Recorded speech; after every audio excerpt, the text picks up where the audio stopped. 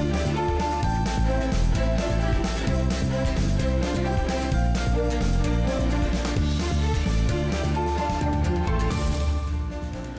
Bienvenidos a Noticias 22, viernes 13, cabalístico. La superstición se hace presente esta noche. De esto vamos a platicar en un ratito. Además, les vamos a hablar también de una de las películas mexicanas más esperadas, Ruido, de Natalia Beristain, que ya está disponible en la plataforma Netflix. Gran película, no hay que perdérsela. Una historia desafortunadamente inspirada en hechos reales. Y tenemos más cosas que compartir con ustedes el día de hoy. Así es, me queda Laura Barrera, amigos del auditorio. Hola, Laura Regis, en la traducción de lenguas de seña mexicana. Y vamos a arrancar con un encuentro muy interesante que tiene que ver, sí, con cultura, pero en general con el futuro de las sociedades. Sí, en una reunión de diplomáticos que están ahí presentes para hablar del el futuro de las comunidades, el futuro de la cultura. Intercambiar puntos de vista sobre el estado actual y las perspectivas a futuro en los ámbitos político, económico, social y cultural de nuestro país es uno de los objetivos de la 34 reunión de embajadores y cónsules en la Ciudad de México. Este evento anual que se realiza desde 1989 tiene como objetivo central analizar los desafíos y oportunidades del entorno global y los avances de la acción internacional.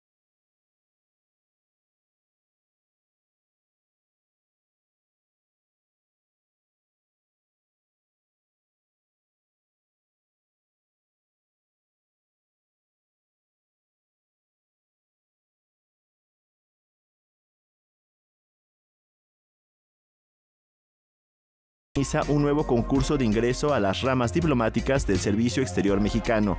Además, el cuerpo diplomático se reunió con los titulares de las Secretarías de Estado y de varias dependencias de la Administración Pública Federal para trabajar de manera conjunta.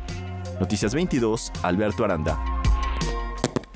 Nueva York celebra el centenario de uno de los máximos exponentes de una manifestación artística que aún ahora tiene muchos ecos muchísimos ecos, el arte pop. Veamos de quién se trata. En 2018, más de 400 obras de Roy Lichtenstein, entre pinturas, esculturas, dibujos, grabados y fotografías, fueron donadas al Museo Whitney por parte de Dorothy Lichtenstein, viuda y presidenta de la fundación que lleva el nombre del pintor estadounidense. Desde entonces, se había especulado con la idea de que el estudio del pintor pasara a manos del Whitney Museum of American Art, institución que apoyó el arte de la generación a la que pertenecía Lichtenstein. En febrero de 2022, la viuda del pintor y el director del Museo Whitney, Adam Weinberg, anunciaron la donación del recinto, que ahora albergará el programa de estudio independiente que dirige el museo. El estudio de ladrillo rojo de 9.000 pies cuadrados se ubica en la calle Washington del Greenwich Village en Nueva York y fue el estudio en donde el artista trabajó entre 1988 hasta su muerte en 1997. El edificio de tres niveles fue construido en los años 20 del siglo pasado y albergaba un taller de metales. En 1987 fue adquirido por el pintor. La renovación del estudio estará a cargo del despacho arquitectónico Johnston Markley y su apertura conmemorará el centenario del natalicio de Roy Lichtenstein. En principio fue poeta, profeta, pacificador de los pueblos y quien llevó la agricultura en el panteón egipcio. Después la historia cambió. Justo ahora descubren en Egipto la tumba del dios de los muertos.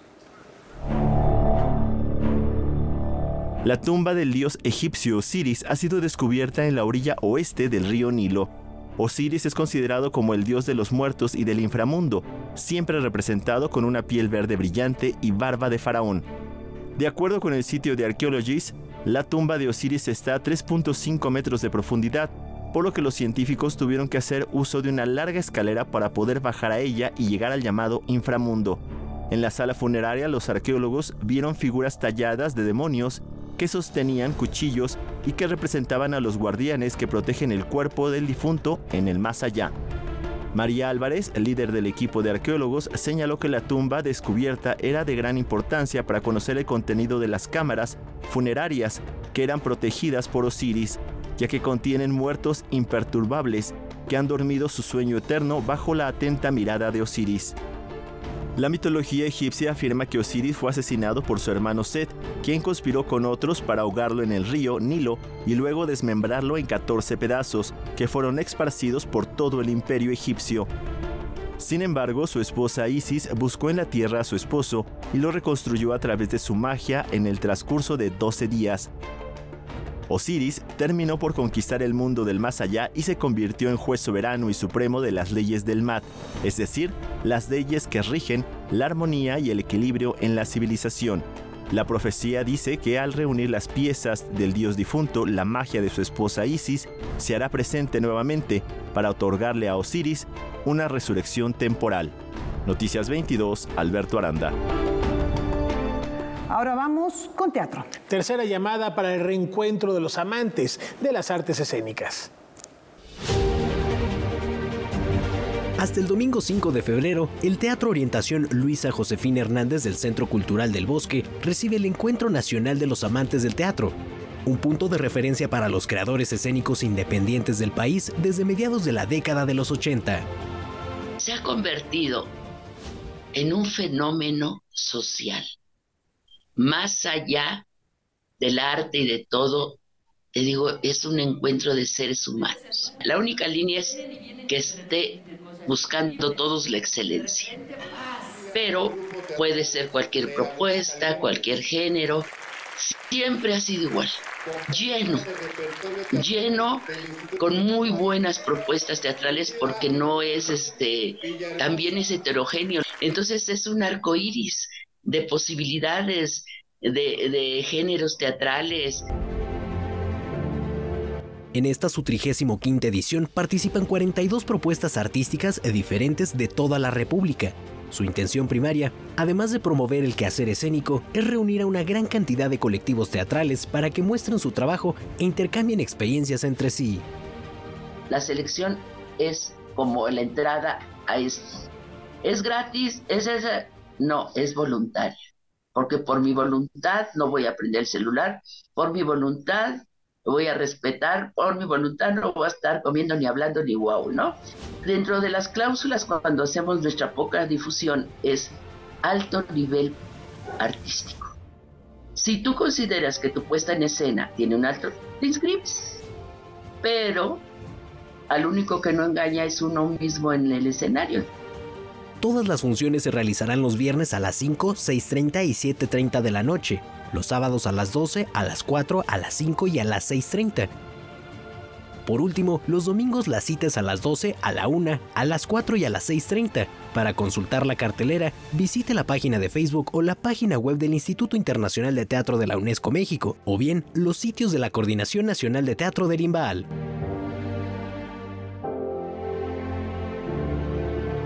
Noticias 22, Rodrigo Peredo recorriendo el mundo con esta propuesta que reúne cuestiones muy interesantes, Laura. Sí, son, eh, son historias, son geografías que convergen iluminadas por la luz del nácar. Por primera vez en la historia, se pueden observar tres conjuntos de enconchados en un mismo espacio. Se trata de la exposición Luz del Nácar, Reflejos de Oriente, que reúne la colección real del Museo del Prado, la colección del Museo de América y la privada de los duques de Moctezuma.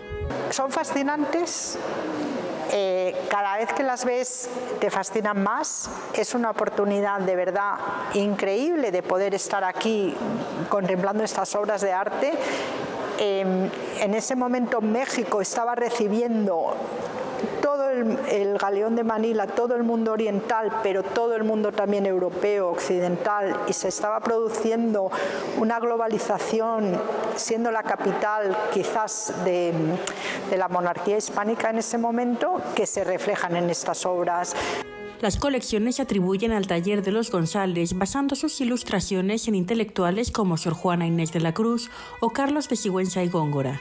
Por primera vez se exhiben sin marco y unidas aunque son piezas sueltas, si tú las ves sueltas y no las ves en un entorno de secuencia que te está transmitiendo la historia de la conquista de México, no puedes llegar a entender por qué eh, las batallas, por qué los personajes, por qué los aliados indígenas, por qué aparece Doña Marina, por qué aparece eh, Moctezuma, el encuentro entre Hernán Cortés y Moctezuma, la Ciudad de México dibujada. Otro gran acierto de la exposición es el mostrar la parte trasera de la colección de los duques de Moctezuma. También podemos encontrar una batea lacada mexicana donde se ve claramente la influencia oriental en el arte mexicano. La luz del nácar Reflejos de Oriente abrirá sus puertas hasta el próximo 25 de mayo. Desde el Museo de América para Canal 22, Francina Islas, corresponsal.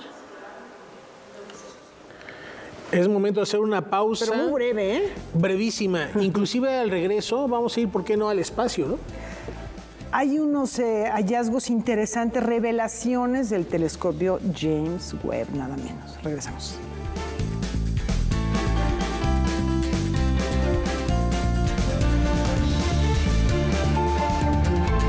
La transformación avanza por la voluntad de la mayoría del pueblo de México. Antes el gobierno estaba al servicio de los poderosos, protegía los intereses de los de arriba y saqueaban el patrimonio de la nación. Ahora es el gobierno del pueblo y para el pueblo, y primero van los pobres.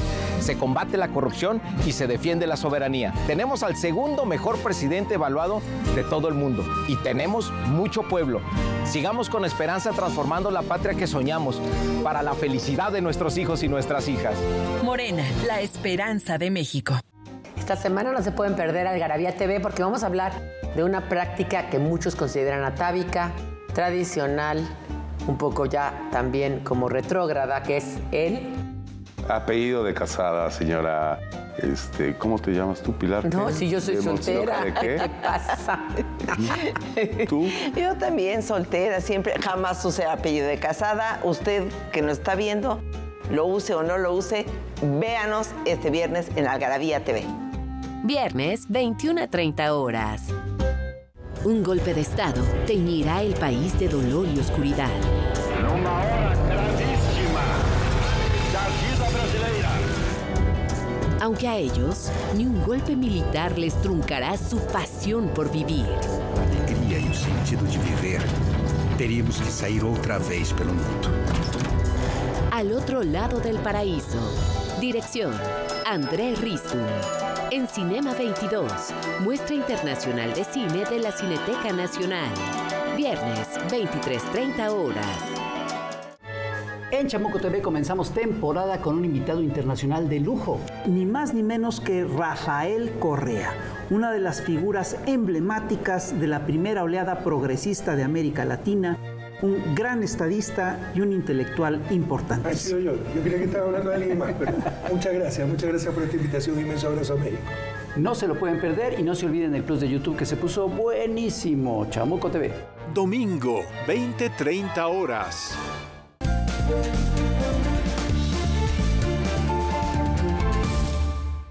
La Compañía Nacional de Teatro se renueva.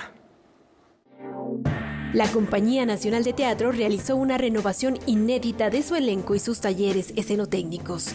Entre los nuevos integrantes se encuentran 15 nuevos profesionales en la actuación. Tuvo la mayor eh, renovación eh, que había habido. Eh, in, ingresan 18 nuevos integrantes a la Compañía Nacional. La gran mayoría son actores, pero también hay músicos dentro de la Compañía Nacional residentes y también hay eh, jefes de los talleres de escenotécnicos. Cada dos años, la compañía lanza una convocatoria pública a nivel nacional para renovar algunos de sus integrantes. Esta modificación se da de acuerdo con las categorías de actores con las que cuenta y la instancia que estos pueden tener en la dependencia según su trayectoria profesional.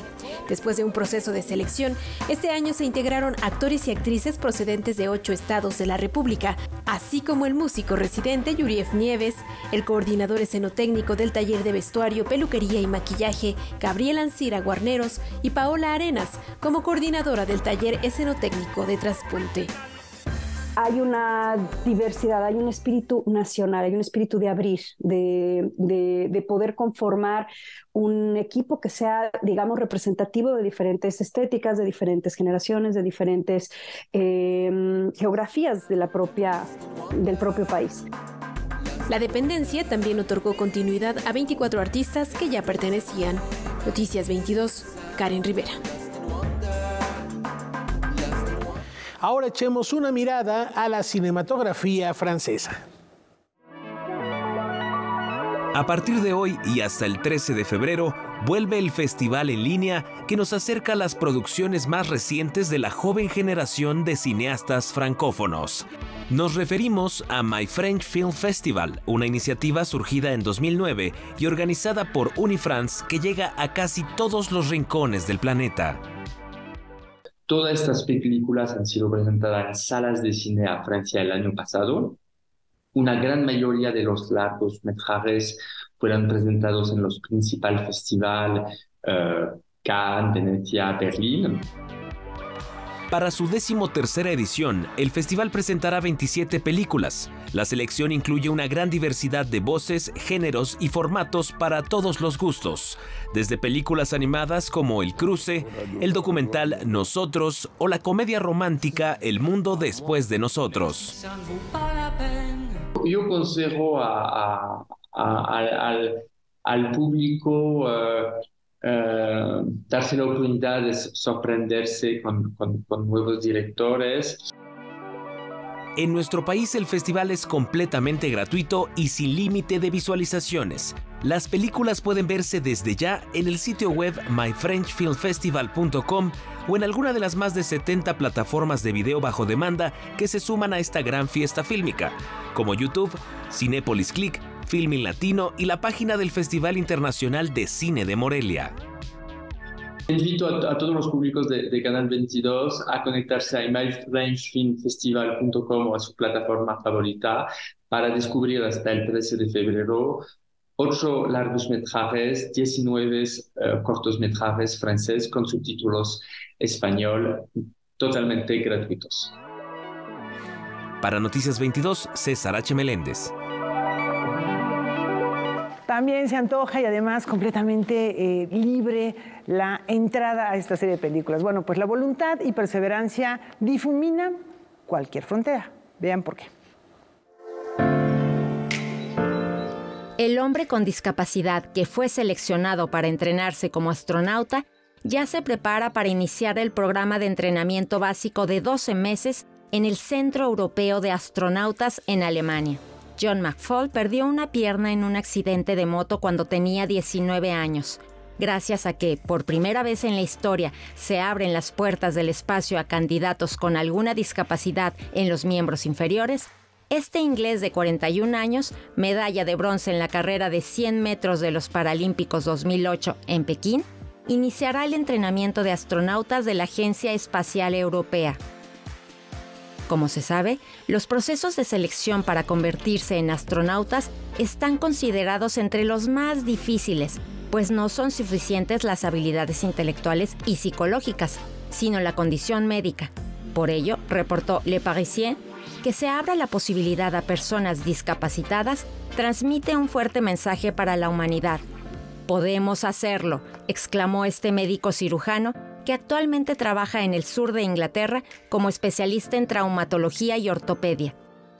Durante estos meses, John McFall tendrá que trabajar para mejorar la comprensión de la Agencia Espacial Europea sobre los obstáculos que los vuelos espaciales presentan para los astronautas con discapacidad física, así como para ayudar a superarlos.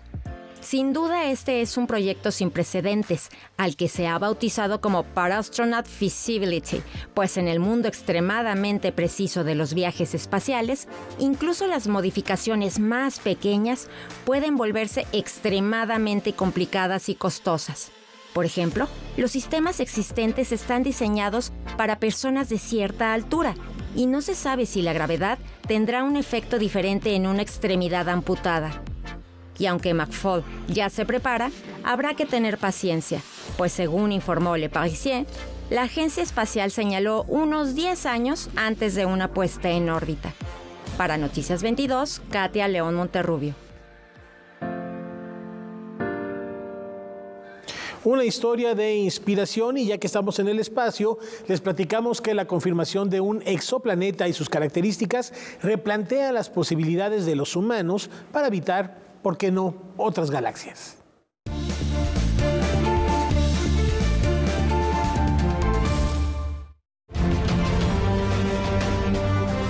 La NASA informó de la existencia de un planeta con dimensiones similares al de la Tierra, el telescopio espacial James Webb detectó un exoplaneta que ahora será conocido como el LHS 475b.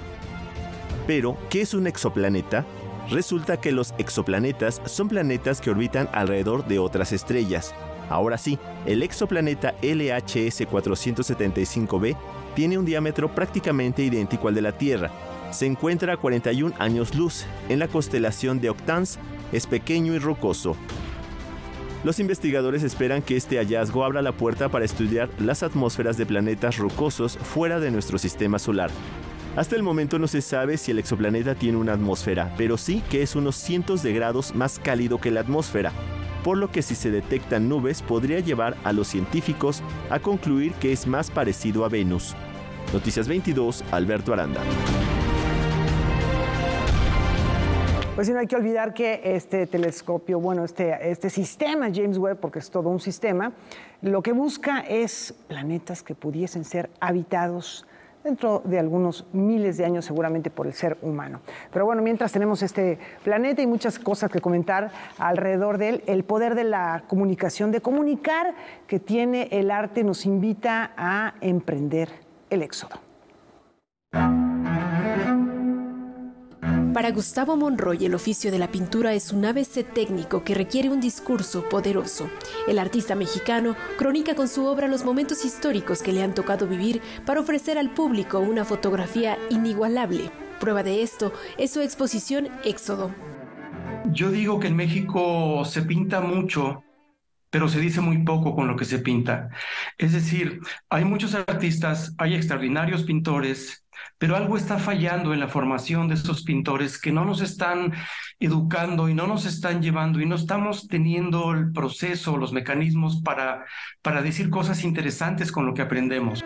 La muestra presenta por primera vez la pieza Zompantli COVID, que toma como referencia el hallazgo de 119 cráneos en 2020 como parte del altar Güey Zompantli y hace un homenaje a los ausentes a consecuencia de la emergencia sanitaria. La exposición incluye piezas de mediano y gran formato que abordan temas relacionados con la migración, el caso Ayotzinapa, la violencia y las fosas de México. La manera como yo abordo los temas y abordo mi trabajo como estudioso de la pintura, siempre recurro al pasado para tratar de contextualizar, recontextualizar y retomar temas de la tradición de la pintura, que es la que básicamente es, digamos, la línea rectora de mi trabajo cotidiano. Monroy busca las experiencias pictóricas que invitan a reflexionar y va más allá del arte moderno ligado a lo comercial. En la enseñanza de las artes plásticas que hay como lagunas, como carencias, los estudiantes salen con un afán de, de fama y de prestigio y de presencia en redes sociales y de éxito económico, pero se, nos, se les olvida que la pintura es un medio para comunicar Éxodo se exhibe en el Centro Cultural Clavijero en la ciudad de Morelia y está acompañada por el documental El arte como bitácora de la violencia. Se podrá visitar hasta el 19 de febrero. Noticias 22, Karen Rivera. Tenemos una muy breve pausa, mucho más al regresar. Música contemporánea mexicana, por ejemplo, no se vayan.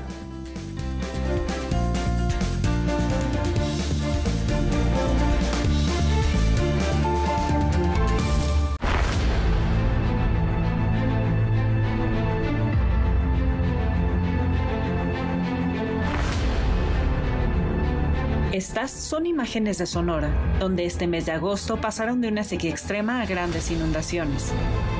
¿Pero qué provocó estas lluvias torrenciales? Tienen su origen probablemente en una anomalía, es decir, en aguas muy calientes en la región de la corriente de California, en el mar de Cortés, en las costas del Pacífico mexicano e incluso en el Golfo de México. Toda esta agua se evaporó y el viento la transportó hasta Sonora, originando lluvias monzónicas, que en esta ocasión alcanzaron, de acuerdo a Conagua, cerca de 450 milímetros en tres días, es decir, el 90% de lo que cae en un año. Estos eventos extremos de lluvias intensas o sequías se van a presentar con más frecuencia como un resultado de ese calentamiento. Paradójicamente, este año la región norte del país fue severamente afectada por la falta de agua. En el mes de julio se declaró emergencia nacional por sequía severa en México, sobre todo en los estados del norte. El norte de México muestra tendencias de largo plazo a la baja, por ejemplo Nuevo León, Chihuahua sobre todo, y en Sonora la situación también mostraba precipitaciones a la baja no tan marcadas como en el estado de Chihuahua, pero sí a la baja. Los eventos extremos se han incrementado también en otros lugares del mundo. En junio, lluvias monzónicas provocaron grandes inundaciones en Hunan, China. Y a principios de agosto, en el Valle de la Muerte, entre California y Nevada, Estados Unidos, llovió intensamente durante tres horas, y el incremento del agua representó el 75% de la precipitación anual. Mientras tanto, en Europa, este verano se vivieron sequías extremas, ondas de calor e incendios forestales, por lo que urge tomar acciones desde lo individual y colectivo para minorar los efectos de estos fenómenos.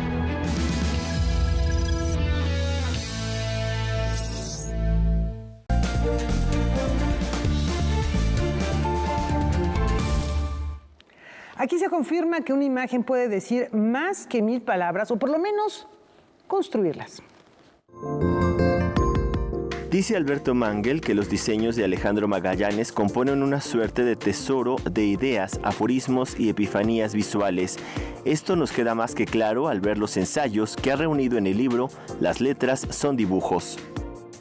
El libro tiene como estos este, capítulos, muchos hablan de mi oficio, eh, ya sea como diseñador gráfico, como ilustrador, como artista visual.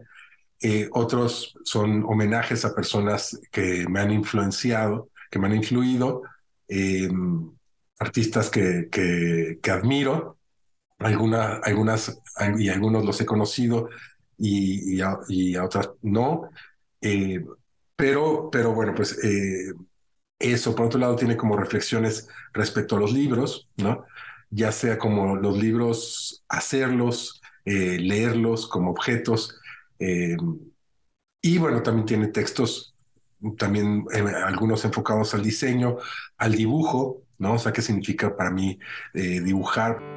Los trabajos reunidos en este volumen, el cual carece de índice con la intención de que el lector vaya libremente por las páginas, son el resultado de cuestionarse las cosas por el puro placer de hacerlo justo yo creo que, una de las, em, de las maravillas que podemos tener cuando estamos vivos es justo estarnos preguntando como todo el tiempo, ¿no? Y preguntarnos por qué, ¿no?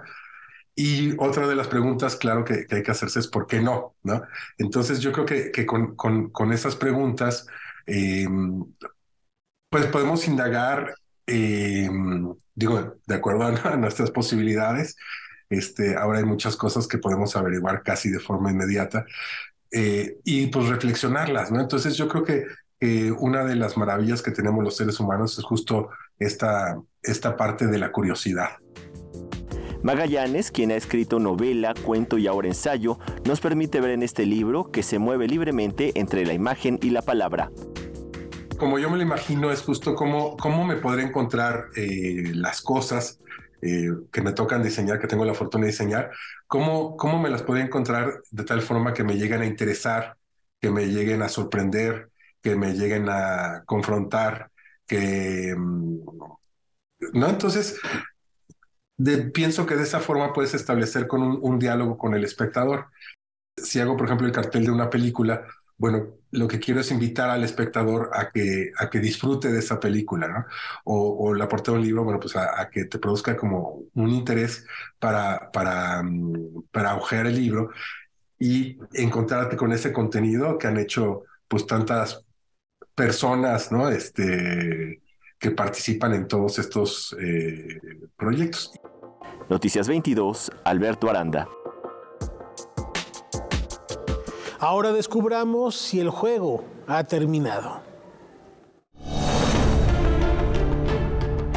La Galería 1 del Museo Jumex se transforma en un gran parque de juegos infantiles. Detrás de esta propuesta se encuentra la artista visual Minerva Cuevas, quien ha creado a partir de los conceptos de juego, ecología y desarrollo urbano una instalación en la que todos podemos participar. La investigación inicial tuvo que ver con parques infantiles y cómo se han desarrollado históricamente. No es solamente una exposición de obra reciente, sino tiene ese fin, ¿no? Como resolver de qué modo podía generarse obra que fuera más participativa. Es una exposición distinta porque aquí todo se puede tocar, manipular, eh, en especial el parquecito de juegos.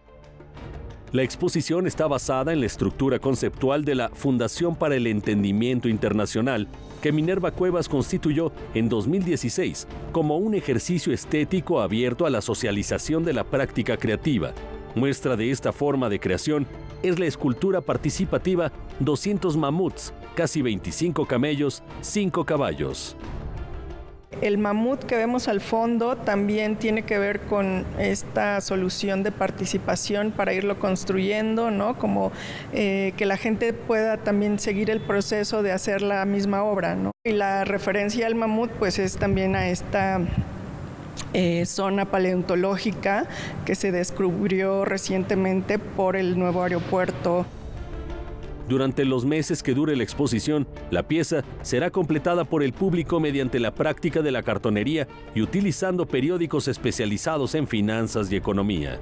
La muestra presenta también otro conjunto de obras como la serie Hélices, conformada por aspas de mediano formato que hospedan plantas sectáceas y siempre vivas y donde el artista transforma contenedores de petróleo en objetos que recuerdan a los botes de basura de los parques infantiles. La instalación participativa Game Over podrá visitarse en el Museo Jumex hasta el 26 de febrero. Con información y texto de César H. Meléndez, Óscar Elguera, Noticias 22. Hoy es un buen día para echar a volar la imaginación, principalmente de los supersticiosos, como ya decía Rafa al inicio del programa. Veamos.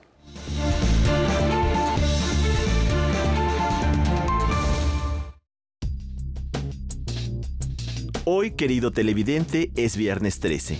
Para algunos este día es por demás terrible, y es que de acuerdo a varias creencias occidentales, este día trae tragedias, mal agüero y catástrofes. Quizás todo comenzó con los cristianos, quienes consideran el 13 como un número lleno de infortunios. Y es que en la última cena había 13 participantes, Jesucristo y sus 12 apóstoles. El capítulo 13 de la Biblia vaticina el Apocalipsis. Además, son 13 espíritus del mal de las leyendas nórdicas, y en el tarot el número 13 significa la muerte. Si a esto le sumamos que la cultura popular se ha encargado de potenciar estas creencias con películas como Viernes 13, imagínese usted. Pero, por coincidencia quizás, en la historia se han registrado sucesos como que el rey Felipe IV de Francia ordenó un viernes 13 de 1307 que los templarios fueran capturados y llevados ante el Tribunal de la Santa Inquisición, en Australia, el viernes 13 de 1939, ocurrió uno de los peores incendios forestales, dejando 71 muertos. El viernes 13 de 1972, un avión de la Fuerza Aérea Uruguaya que llevaba 45 personas chocó contra una montaña, dejando un saldo de 29 muertos. Este incidente es conocido como la tragedia de los Andes. Por si sí o por si no, la tradición recomienda no realizar un viaje, levantarse apoyando primero el pie izquierdo, no pasar por debajo de una escalera, no reunirse con 13 personas al mismo tiempo, no romper un espejo, derramar sal, evitar cruzarse con un gato negro, dejar un mantel blanco en la mesa y por supuesto, no casarse. Noticias 22, Alberto Aranda. Teatro UNAM nos comparte su corte de caja. No quiero hacer la función. Tienes que hacerla. Te lo suplico. No puedo ayudarte en eso. Fue un año, en cierto sentido, de enorme alegría por regresar a la actividad presencial en todos nuestros espacios y también en los espacios alternativos y al aire libre. Si bien recuperar el ritmo durante el periodo pospandémico ha sido complejo y paulatino para las artes escénicas, Teatro UNAM concluyó el 2022 con cifras muy alentadoras para su comunidad. Tuvimos 39 puestas en escena con más de 570 funciones presenciales para más de 35 mil espectadores. Son números importantes que abarcan tanto las obras y producciones que se desarrollaron en nuestros espacios A pesar de las adversidades, la institución productora logró una programación plena que, en palabras de su director, refleja un ritmo incluso mayor al que se manejaba antes de la emergencia sanitaria. Empezamos con el 30% en nuestros espacios de posible público y terminamos ya a mitad del año, en el final del primer semestre y el, inicio del segundo, con eh, aforos al completo. Teatro UNAM no solo produce obras para sí, sus propuestas el año pasado también llegaron a otros recintos como la Casa del Teatro, el Teatro Helénico, el Teatro de la Ciudad de Esperanza Iris, entre muchos otros. Ahora que las condiciones lo permitieron, colaboró activamente con distintos festivales o eventos de la máxima casa de estudios. A todo el equipo que conforma Teatro UNAM y las indicaciones que nos ha dado la doctora Rosa Beltranes colaboremos entre nosotros, dentro de Cultura UNAM, pero también con otras instancias. Asimismo, no se ha descuidado su programa académico. El año pasado se realizaron 44 actividades virtuales y dos presenciales, alcanzando más de 29.800 espectadores. Teatro UNAM actualmente ya tiene un eje por el que se conducirá a lo largo del 2023 y queremos refrendar el compromiso de Teatro UNAM en relación a poner en escena las problemáticas sociales que el país tiene. Eso es algo en donde estaremos sumamente comprometidos. Nos tenemos una programación ya absolutamente plena, como tuvimos el año pasado, en donde, por un lado, estaremos terminando las obras, terminando de producir las obras y poner en escena, obras que teníamos compromiso de llevarles a escena desde antes de la pandemia. Ahora. Noticias 22, Rodrigo Peredo. No siempre es posible ver a Quetzalcoatl. Ahora no es el momento. Sigma Project nos invita a explorar la composición mexicana contemporánea. El cuarteto español Sigma Project dedica su más reciente material discográfico a México. Se trata del CD Nueva Música Mexicana para Cuarteto de Saxofones. Contiene cinco primeras grabaciones de compositores nacionales. Es el resumen de nuestra relación con un país que nos ha acogido desde el año 2012 y en, este, en estos 10 eh, años ¿sí? Eh, hemos tenido una relación muy cercana, muy estrecha con, con, muchas generaciones de compositores mexicanos, de los cuales hemos hecho estrenos. No ha sido fácil hacer esta selección de obras y, y lo que hemos querido dar es una, una pequeña muestra de las diferentes estéticas que hoy en día se pueden dar en, la composición contemporánea en México. Originaria de Madrid, la agrupación Sigma Projects nació en 2017 y se ha dedicado a la reivindicación del papel del cuarteto de saxofones, cuarteto por excelencia del siglo XXI. Su propuesta discográfica contiene temas de los compositores mexicanos Víctor Ibarra, Ever Vázquez, Hilda Paredes, Arturo Fuentes y Javier Torres Maldonado pensábamos que eh, con ellos se podría eh, abarcar eh, diferentes corrientes o, estéticas o diferentes trabajos. También los compositores y los intérpretes estamos muy atentos a lo que ocurre socialmente, culturalmente, artísticamente, ¿no? la inquietud de las sociedades. Pues eso es una realidad y, este disco es, justamente el final, el final de, ese, camino. El disco fue lanzado por el sello Mod Records de Nueva York y Sigma Project espera visitar México en septiembre y noviembre de 2023. Noticias 22, Karen Rivera. Oigan, a propósito de música, aquí una recomendación de agenda cultural, de cartelera. Mañana, sábado 14 de enero, en el Museo Nacional de las Culturas del Mundo, el que está ahí en Moneda 3, en el Centro Histórico, va a haber un recital de música muy interesante donde vamos a escuchar a compositores como Mozart, como eh, Álvaro Carrillo, o sea, ecléctico el programa, eh, de la música más clásica, la música contemporánea, la música fina mexicana. No se lo pierdan, es a las 2 de la tarde mañana sábado. Raquel Waller y Sergio Meneses estarán eh, compartiéndonos este ah, recital. qué, buen elenco. Vale la pena darse una vuelta mañana, 2 de la tarde, Centro eh, Museo Nacional de las Culturas del Mundo. Además, un recorrido por allá, se quedan a comer, a cenar. Pues es un, es un buen plan para fin de semana. Tenemos una pausa, regresamos. Tenemos todavía artes escénicas y cine.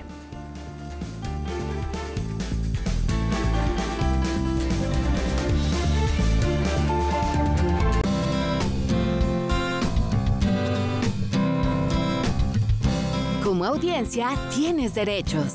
Debes conocerlos para poder ejercerlos y ser parte de los televidentes críticos y participativos. Es muy importante que sepas que la televisora debe respetar los horarios anunciados en su programación, tener acceso a la misma calidad y niveles de audio y video. Para más información consulta la página de defensoría.canal22.org.mx.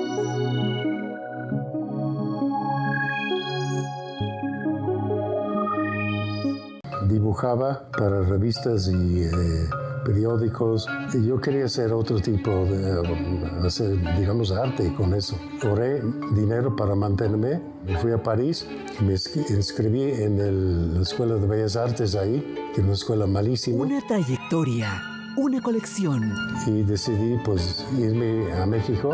Brian Nissen. ¿Qué encontré en México? Eh, aparte del amor, eh, entender y aprender lo que era el arte prehispánico. Domingo, 19 horas. Un objeto que está dotado de poderes de comunicar con otra gente. Esta familia vive a la deriva. Los niños miedosos a mí no me caen bien, por eso nunca juego contigo, ¿sabes? ¡Ey, ey, ey, ¡No se tira la comida! Con un padre ausente, un bosque y una época que remite más a la memoria que a coordenadas específicas. Mi mamá siempre es la última en llegar. ¿A qué hora llegan por ustedes? Madre e hijos tendrán que crecer y soltar sus miedos para sobrevivir. ¿Qué? ¿Qué? Estudios Churubusco presenta Restos de Viento. Dirección Jimena Montemayor. En Cinema 22 de 5 estrellas. Domingo, 22 horas.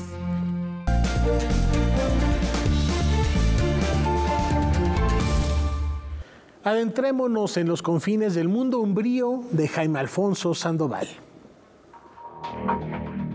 Lina ha perdido a su madre, fue asesinada y su padre sabe quién fue, pero no le puede revelar la identidad del criminal sin decirle que él no es humano. Este es el comienzo de la saga creada por Jaime Alfonso Sandoval. Toda novela de aventuras y toda novela juvenil también es una metáfora sobre el crecimiento. Entonces, es metáfora sobre justo el crecimiento a partir de la que va saliendo de la infancia. Por eso yo elegí esos años, 13 años, que es cuando vas entrando de pleno a la adolescencia. Y va cruzando la adolescencia, Lina va creciendo conforme van pasando todos los volúmenes. Y es un viaje justo a eso, es, un viaje iniciático. Mundo Umbrio se desarrolla en la frontera, en las calles de la Ciudad de México, en el metro y en submundos en donde habitan criaturas de la oscuridad. Por todos estos lugares pasará Lina, Lina va buscando una cosa, pero va encontrando muchas otras cosas. Va buscando respuestas sobre la muerte de su madre, pero encuentra, encuentra el amor, encuentra amigos, encuentra la traición, encuentra qué quiere ella, volverse una asesina o realmente lo que quiere es buscar justicia. Después de las dos muertes, la traición y la venganza, esta saga llega a su fin en Guerra de Guerras. Y la guerra de guerras es el cierre, el cierre a todos los personajes, a todo el bien, a todo el mal, a todas las respuestas que se fueron generando en cada una de las, de las series. Siempre yo tengo mis elementos principales, que son mis ejes para escribir, que son el humor negro, porque van a encontrar mucho humor negro, el terror, van a encontrar obviamente mucho terror y ciencia. Siempre voy a poner algo de ciencia, aunque sea ciencia fantástica, me encanta poner ciencia. Noticias 22, Alberto Aranda. Él nos invitó a recorrer los paseos de la Ciudad de México y encontró en sus rincones poesía. Esta noche nosotros vamos tras su recuerdo.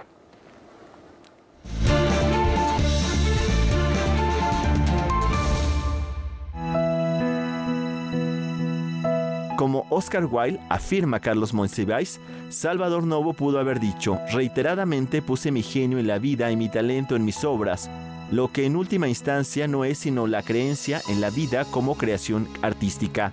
Como en Wilde, en Novo el personaje es parte esencial de trabajo literario. A diferencia de Wilde, la sociedad que lo persiguió termina reconociéndolo y por lo mismo enterrándolo en vida. Por su parte, Hugo Gutiérrez Vega reconoce que a Novo le tocó vivir una época de misoginia máxima. Era efectivamente un lobo estepario, un lobo solitario y al mismo tiempo muy famoso y muy solicitado, muy admirado y muy saherido. En sí, Salvador Novo fue un incendiario de joven y bombero de viejo. En sus últimos años ya no era el hombre valeroso y provocador que fue. En este aniversario luctuoso del poeta, cronista y dramaturgo, es recomendable acercarse a su vida y obra a través de títulos como La estatua de sal, los diálogos y sus poemas más importantes se encuentran en 20 poemas Espejos y Nuevo Amor, en donde abordó la homosexualidad, pero también incursionó en la literatura en lengua inglesa al publicar en 1934 Las rimas del Lobo del Mar.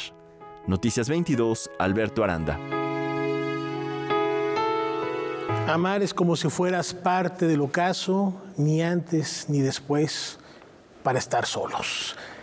No, el poema Amor de eh, el gran Salvador Novo, que empieza diciendo amar es ese tímido silencio cerca de ti sin que lo sepas.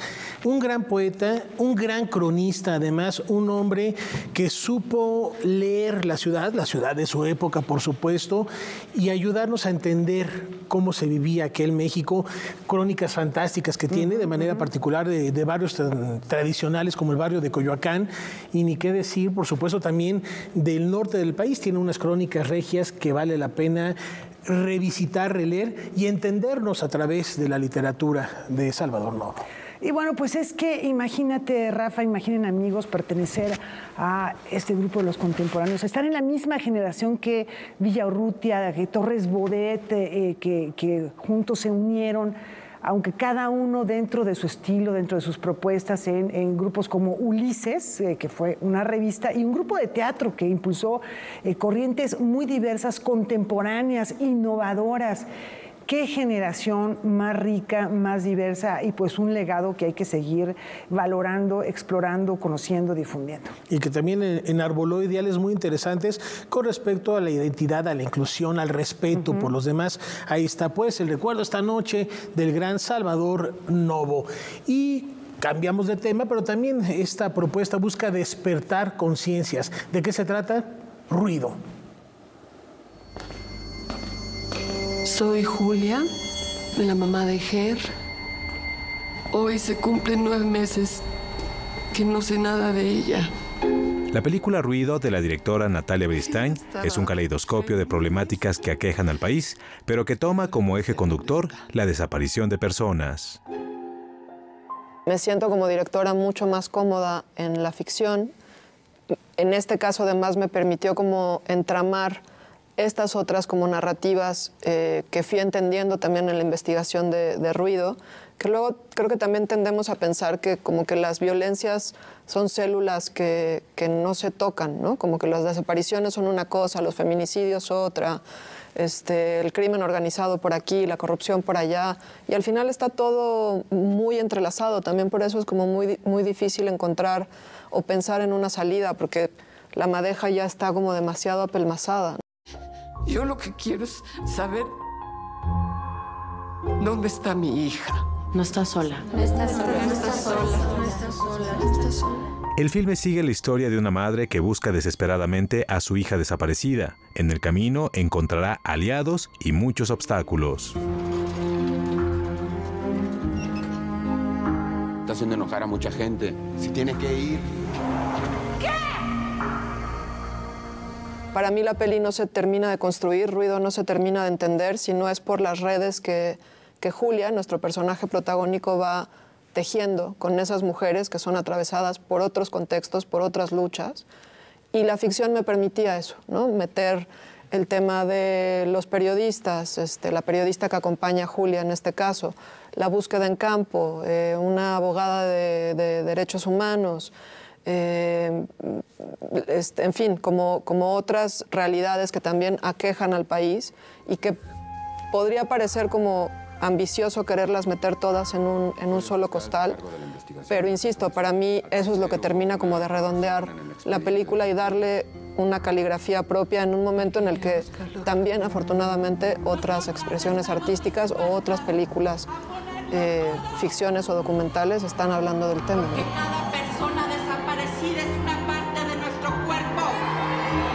Documentales como Volverte a ver de Carolina Corral, Las tres muertes de Maricela Escobedo de Carlos Pérez Osorio y Guerrero de Ludovic Monliu retratan esta realidad de manera más cruda y concisa. Sin embargo, Ruido logra conectar con un público mucho más amplio. No estás. Noticias 22, Julio López. La Coordinación Nacional de Teatro está lista para correr el telón.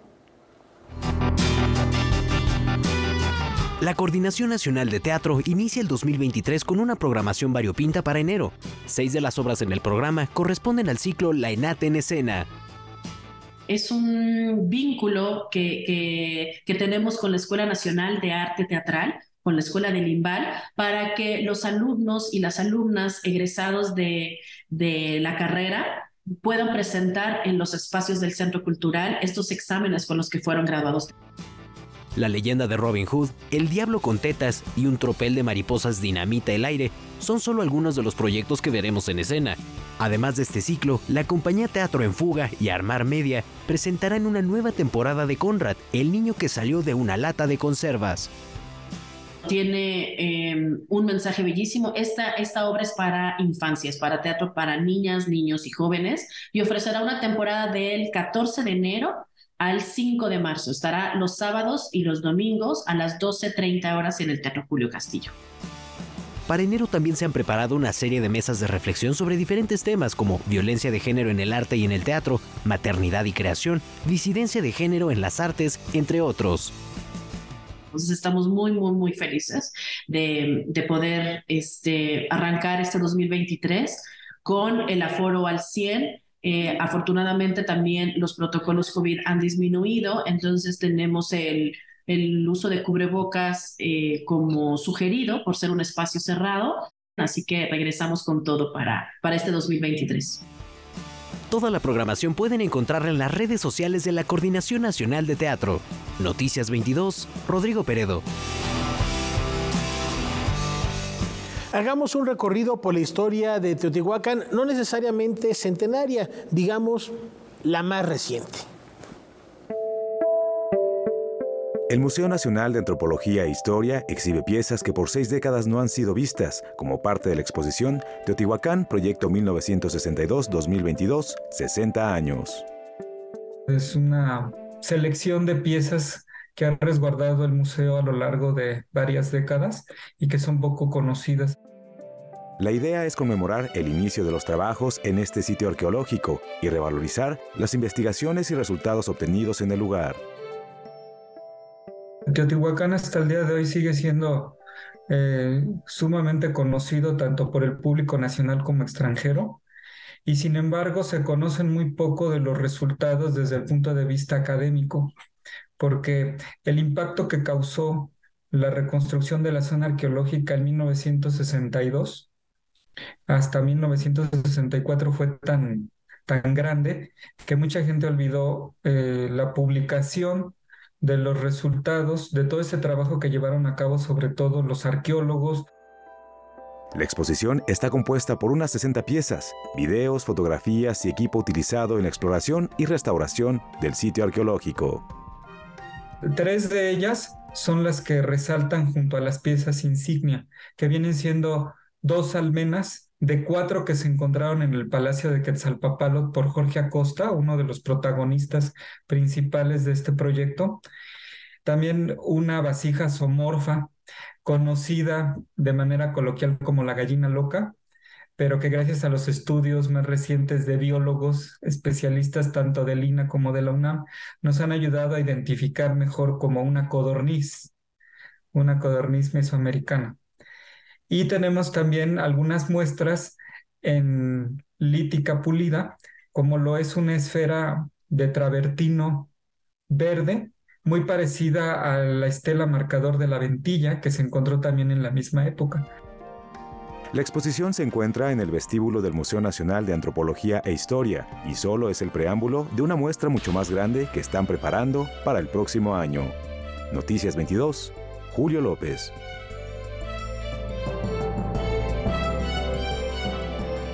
Bien, nos vamos a despedir con musiquita. Vamos a celebrar el cumpleaños del tenor peruano Juan Diego Flores, que hemos escuchado aquí en varias ocasiones. Ya ha estado en nuestro país, es un referente, un tenor ligero que hoy llega al quinto piso, 50 años, y un abrazo, nuestro reconocimiento y nuestro cariño, por supuesto, a Juan Diego Flores, siempre